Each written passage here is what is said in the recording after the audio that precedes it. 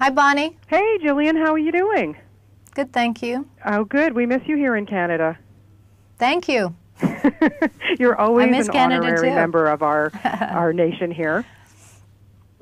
I appreciate that. You're welcome. Uh, first of all, very, very funny. And I, I have to say, I mean, I, I love Rowan Atkinson films no matter what. I mean, the guy could read the phone book or, or act it out as far as I'm concerned. But it's fun to see you in a role like this. Was that uh, kind of the draw for you to be in something kind of goofy and silly for a change?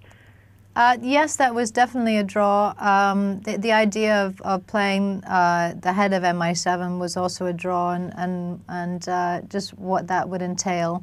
Um, um, but certainly to do comedy and to have the chance to work with Rowan and to, to watch him work. Uh, and you and you get to play his boss. Like that's pretty prestigious there, Gillian. Everybody's boss. I know. How cool is that? It's very cool. Uh, Do you find yourself the Yeah. bossy type? Um, I'm sure some people might say that I'm a bit bossy, but um, Like your kids, maybe. um, uh, yeah, I, I like to be in control. well, why But not? um, being the head of a um, of a, um, a secret service agency is definitely not within my uh, within my talents. Um, and could never be, and so that in and of itself is is quite funny. Um, do you recall your first meeting with Rowan and, and what it was like when you first got to, you know, either work with him or meet meet with him?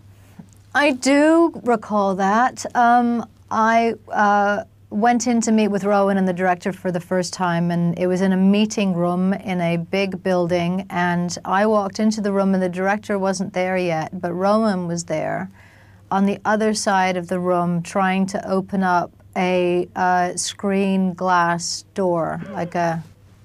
And um, he, it was hysterical. It, Yeah, there was something about it, but he wasn't performing because there was nobody in the room. He wasn't doing it for anybody. Right. But it was just watching him try and negotiate this glass door was so funny that I actually had to leave the room and re-enter later so that he didn't know that I was there. Oh, that's so funny. I, Yeah. I'm wondering, you know, when you are working opposite someone like Rowan Atkinson, like I- seriously, how on earth do you keep a straight face? Well, he's quite serious about it, yeah, and and very often in my short uh, experience, but from what I understand, comedy is quite a serious business, and it's very very technical to to get it right.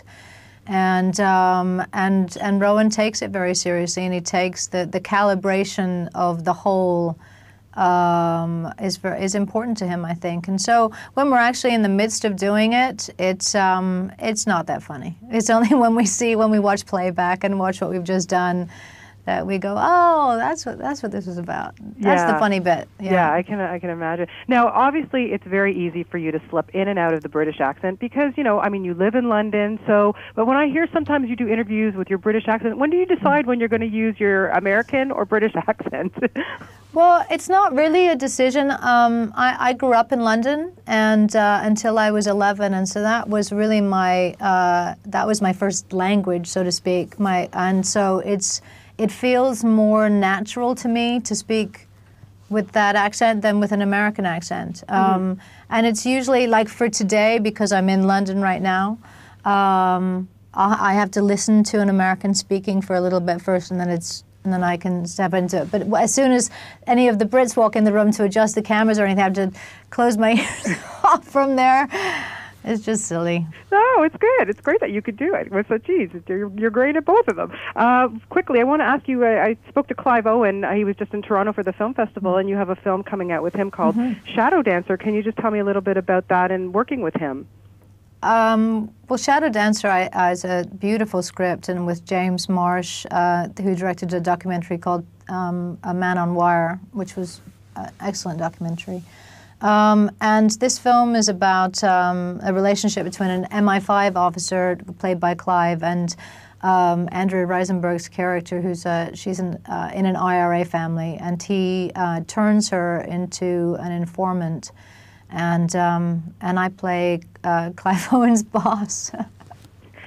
I know, don't ask, but it's very it's a it's a very very different film, and um, and I, I I it's a beautiful project. It was yeah, I was very pleased to be involved in it. Well, we look forward to that, and uh, we again, I hope we see you back here, and maybe one day we'll have an X Files reunion, and we'll have you come back and, and shoot in Canada again. How's that? Thank you. Sounds good to me. Okay. Good luck with this. This is really, really funny stuff. And do some more Oh, goofy good. stuff, okay? Okay. All will. Take care, Gillian. Okay. Bye bye. Thank you. Bye.